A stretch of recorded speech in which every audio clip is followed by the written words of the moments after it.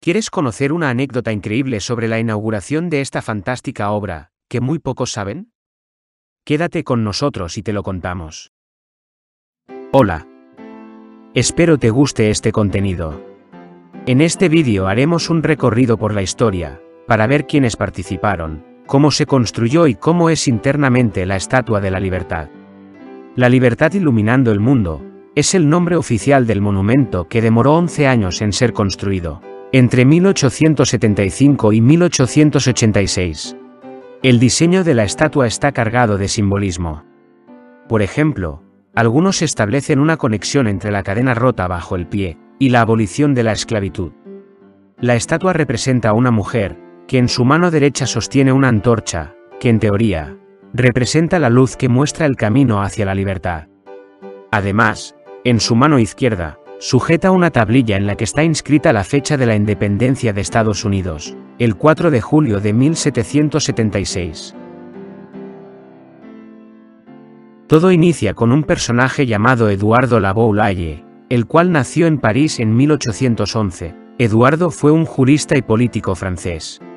Eduardo tuvo la genial idea de que Francia ofreciera un regalo a Estados Unidos, como un obsequio para la conmemoración del centenario de la independencia estadounidense, y para garantizar la alianza franco-estadounidense. Eduardo, se contactó con Frédéric Bartholdi en París, quien fue un escultor francés, conocido especialmente por ser el autor de la célebre Estatua de la Libertad. Como creador de la Estatua de la Libertad, su carrera tomará desde entonces una dimensión internacional, y lo convirtió en uno de los escultores más célebres del siglo XIX. Para el rostro, se utilizó como modelo a Isabella Boyer, viuda del inventor millonario Isaac Singer, aunque según otras fuentes, Bartholdi se habría inspirado en el rostro de su madre, Charlotte Bartholdi. Hoy en día es la hipótesis más aceptada. En Francia, Bartholdi buscó un ingeniero para que se encargara del diseño de la estructura interna de la estatua. El elegido fue Gustave Eiffel, su fama actual se debe a su proyecto estrella, la mundialmente conocida Torre Eiffel, él fue contratado para llevar a cabo la construcción de la Estatua de la Libertad. Los trabajos de precisión se encargaron al ingeniero Maurice Koechlin, hombre de confianza de Eiffel, con el que también había trabajado en la construcción de la Torre Eiffel.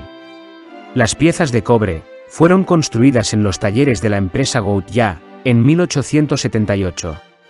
Las planchas de cobre fueron una donación de Pierre Eugène Secretan. Según el Museo de la Ciudad de Nueva York, fue un industrial del cobre francés que hizo su fortuna en la producción de cobre. Donó 60.000 kilos de cobre en la década de 1870, para hacer la Estatua de la Libertad. Se dice que más tarde perdió su riqueza en el colapso del cobre de 1889. La construcción del pedestal estuvo a cargo de Estados Unidos. El sótano fue diseñado por el arquitecto estadounidense Richard Morris Hunt, considerado uno de los padres de la arquitectura estadounidense, y fue construido por el ingeniero Charles Pamero Stone. El primer modelo de la estatua fue de arcilla, de solo 1,2 metros de altura. Luego para la estatua final, se tuvieron que construir modelos más grandes, y en partes, los cuales fueron exhibidos posteriormente para recaudar fondos. Esos modelos de arcilla, sirvieron como molde para elaborar la estatua de metal. El proceso para pasar del modelo de arcilla al modelo de metal se llama repujado, y consiste en colocar las láminas de cobre en los bloques de arcilla y golpearlos con martillos, hasta que tome la forma del modelo de arcilla. Luego esa lámina será colocada en la estructura metálica, que en conjunto formará la estatua. Cuentan los relatos que cuando se colocó la última piedra del monumento, los albañiles cogieron varias monedas de sus bolsillos, y las echaron en el mortero. Los participantes en la ceremonia dejaron sus tarjetas de visita, medallas, y periódicos, en un pequeño cofre de bronce, y lo depositaron en el zócalo. Eiffel estaría a cargo de construir la estructura metálica, la cual sería el soporte principal de la estatua. En la parte externa de la torre se construyó una estructura metálica secundaria, más ligera, que sería la encargada del soporte de las planchas de cobre. El financiamiento para la construcción de la estatua se realizó en Francia. Estados Unidos estaría a cargo del financiamiento del pedestal de la torre.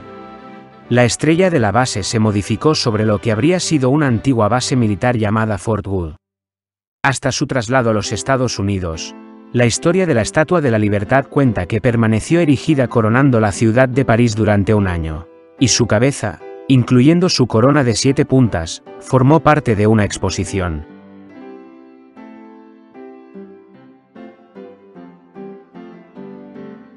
Fue en París donde se construyó la estatua, fueron 350 piezas, las cuales serían luego embaladas y transportadas en barco a Estados Unidos para su ensamblaje. Montar la estatua tomaría aproximadamente unos cuatro meses. La estatua mide 46 metros de altura y desde la base 96 metros de altura, es equivalente a un edificio de 20 pisos y pesa 225 toneladas. Cada plancha de cobre tiene un grosor de 2,4 milímetros. El 28 de octubre de 1886 fue un día triste, muy nublado, parcialmente ventoso. La estatua separa en su base, un enorme lienzo tricolor enmascara el rostro de la estatua. El que preside la ceremonia es el presidente estadounidense, Cleveland. La bahía de Nueva York estaba cubierta de botes a vapor, humo espeso se extendía por el cielo. Casi un millón de personas asistieron a la ceremonia. La jornada comenzó con desfiles en la ciudad. La población ondeaba banderas americanas y francesas, todos estaban en gran alegría. Una vez que terminó el desfile, el presidente Cleveland y los funcionarios abordaron el USS Dispatch, la nave oficial del presidente, que se dirigió inmediatamente a la isla. Con él estaban el escultor francés Bartholdi y Ferdinand, constructor del Canal de Panamá. Los discursos se sucedieron, y en un momento que ya se había decidido, Bartholdi dejó a sus compañeros y se subió al brazo de la estatua para levantar el velo, lo que hizo un poco antes, ya que el presidente todavía estaba hablando. Cuando Bartoldi retiró la bandera que tapaba el rostro de la estructura, a un estruendo de cañones le acompañaron múltiples aplausos. La sorpresa fue estupenda para los afortunados que vivieron este momento, y se dice que los aplausos duraron un cuarto de hora antes de que el presidente pudiera volver a hablar.